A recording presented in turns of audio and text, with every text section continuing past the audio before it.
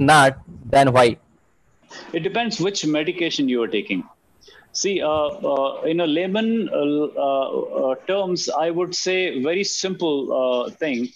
Uh, if you see, this is this is what I'm saying. Okay, this is my experience. So what I tell my patients is that if you take allopathy medicine, allopathy medicine is is good for one condition, but it has certain side effects.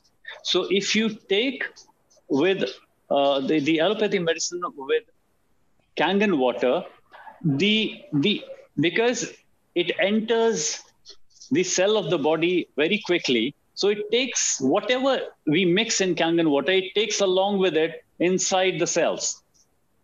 So the effectivity of, of the medicine increases by many folds. But there are certain side effects of that medicine. Those side effects will also increase by many folds.